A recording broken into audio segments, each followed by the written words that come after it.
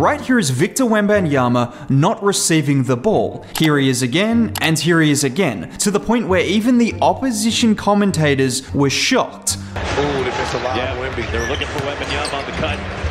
They cut off Sochan, misses. Bad. Now, Brandon missed him too. I don't know how you miss a 7-4 guy. Yeah, how do you I- I just not don't see him in your understand field that. Well, if there were problems last year with Wemby not receiving the ball, then the Spurs just made the absolute best move possible. More breaking news Chris Paul is speed walking to the Riverwalk, who was cut earlier tonight by the Warriors, and intends to sign a one year deal with the San Antonio Spurs. Now, Chris Paul is 39 years old. 39, which in pro athlete terms is like 105 years old, but I don't care if the Spurs have to wheel him onto the court. He is still great at one thing, and that is dropping dimes.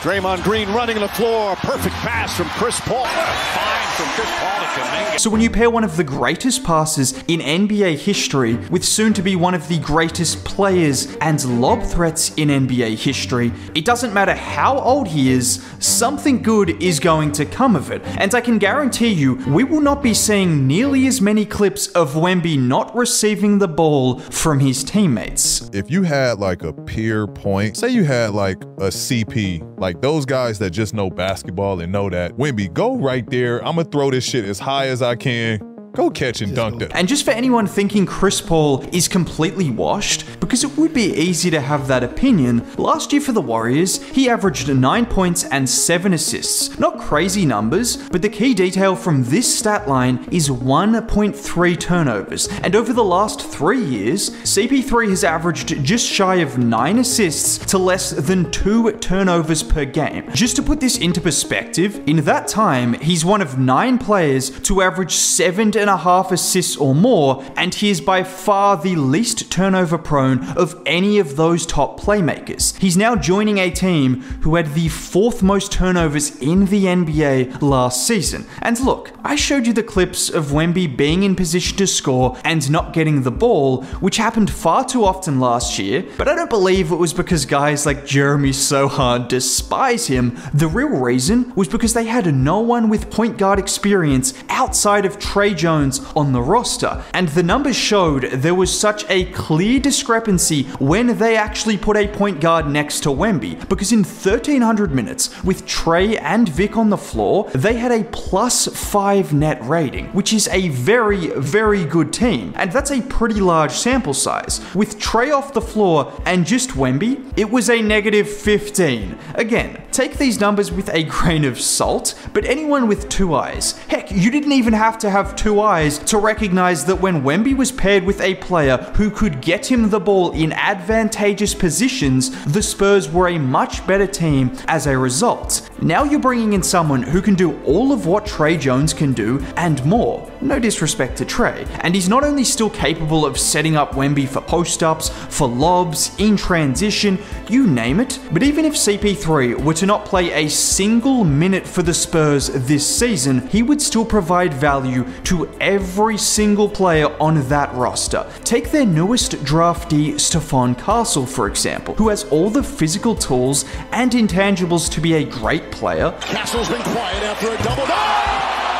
But as far as being an NBA level point guard or ball handler, there's still a lot of room for growth. Luckily, you get someone who knows about that more than almost anyone in NBA history. And I think back to the last young guard CP3 took under his wing, Shai Gilgeous-Alexander, who was praised Chris Paul for helping him develop into the superstar he currently is. Now take a guess who Stephon Castle models his game after. Who would you say that you model your game after mostly in the NBA? Probably guys like Shai. This doesn't have to be specific to just Wemby and Castle either. There's a fundamental understanding of the game and an ability to communicate on the court, which CP3 will be instilling in every single player on the Spurs roster. But getting back to the on court fit, he is absolutely still capable of setting the table for the Spurs superstar. I mean, how many other guys are coming off screens like this hitting an in and out crossover and then just throwing the underhand lob to Trayce Jackson Davis. Or here, as Trayce sets the screen, CP3 draws Jericho Sims away and it's clockwork. Or how about this time, where two defenders get caught on CP3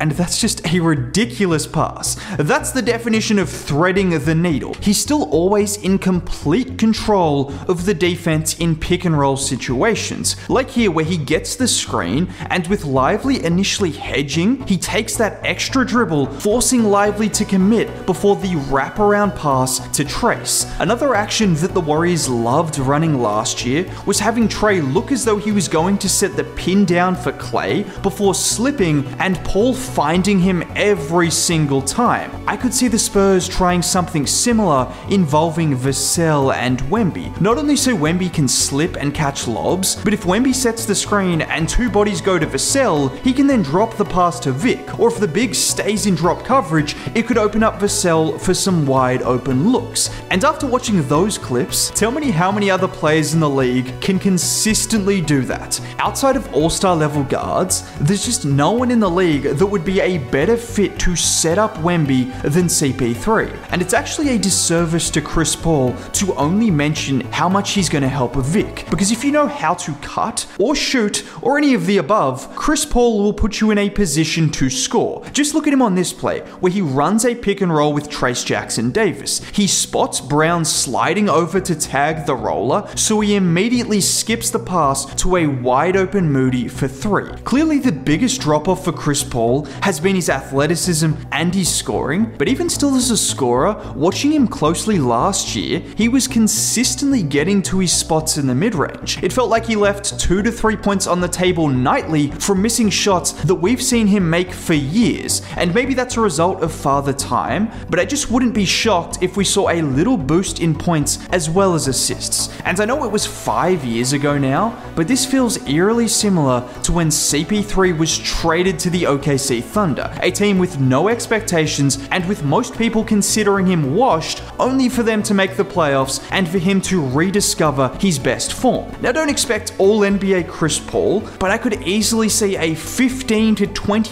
boost from last year just based off the fact he's going to be playing with a top 10 player in the league as his pick and roll partner. Yes, I just said top 10 NBA player, because over the last 43 games of the season, do you want to take a look at what Vic was able to average per 36 minutes? Then compare those numbers to the last three MVP winners. It's hard to fathom how dominant he could be with another season under his belt and even an old version of Chris Paul next to him. Because who else in NBA history is making plays like this, where Tre Jones just throws it up to him with him running backwards and he guides it in? Look at the Raptors bench. Yes, we all have the same reaction watching Vic. Or how about this time where Collins gets the ball at the free throw line and even with a lengthy defender fronting him, you just have to throw it up there and he will do the rest of the work. Chris Paul is probably watching these highlights in his bedroom at 3 a.m. and his wife is probably wondering why he's so aroused.